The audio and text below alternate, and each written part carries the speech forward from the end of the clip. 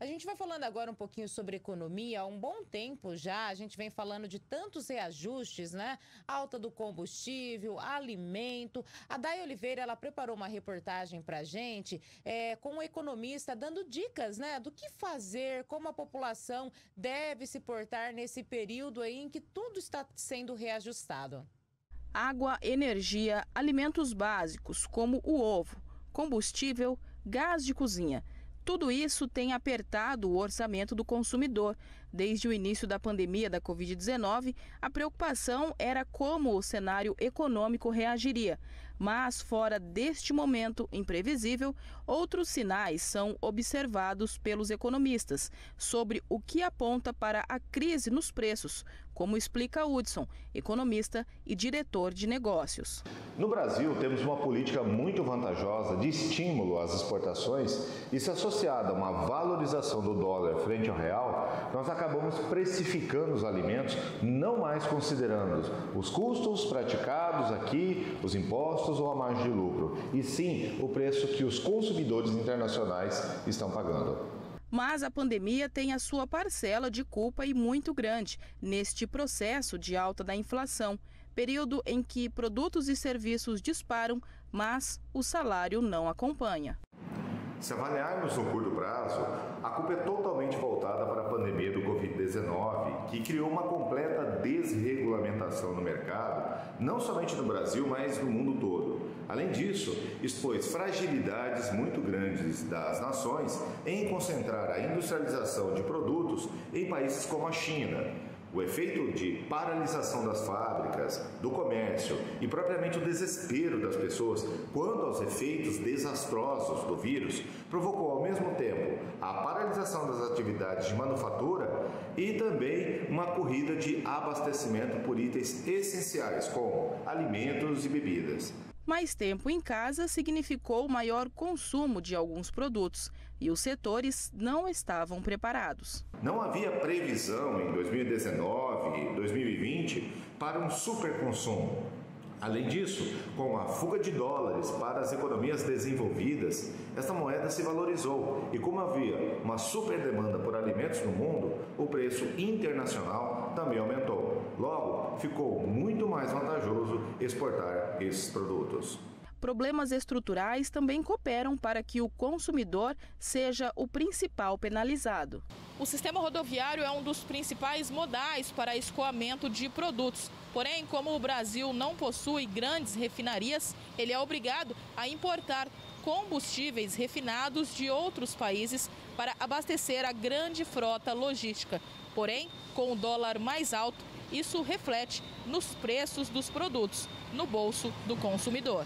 Além disso, já está comprovado que a atual matriz energética do Brasil, fundamentada na sua grande maioria em recursos hídricos, não é suficiente para sustentar um crescimento da atividade industrial ou até mesmo econômica de 20% ao ano, ou até mesmo de 10%, onde a solução utilizada agora é penalizar o consumidor e não resolver o problema que se perdura por séculos.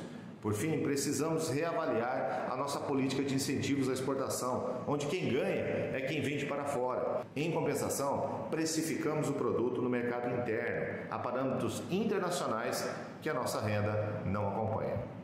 Uma das opções para suavizar o preço final de alguns produtos é a redução de taxa de tributos.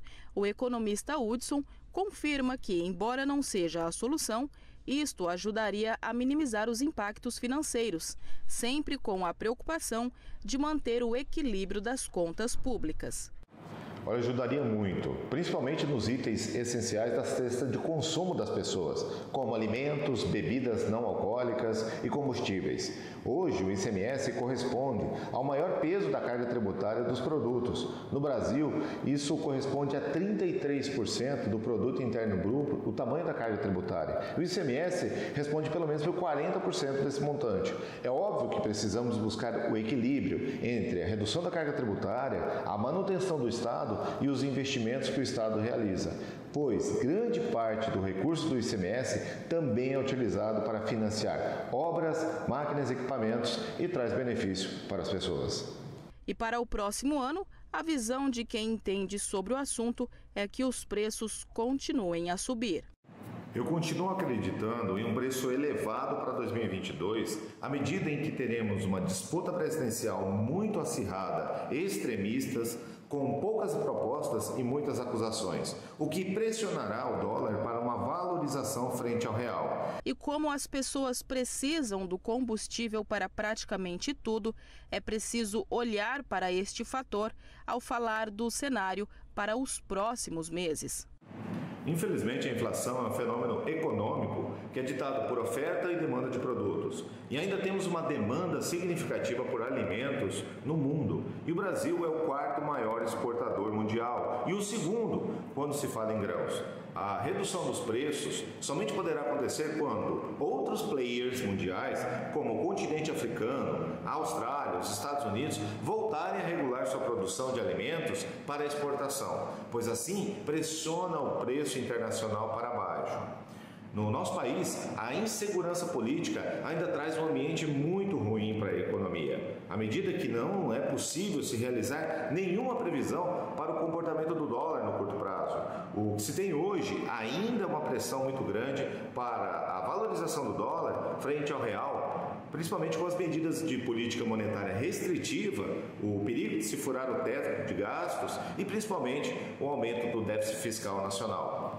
A briga pela sucessão presidencial em 2022 precisa tomar outros rumos no nosso país, senão continuaremos com o dólar extremamente valorizado e o estímulo para exportar alimentos continuará bastante atrativo.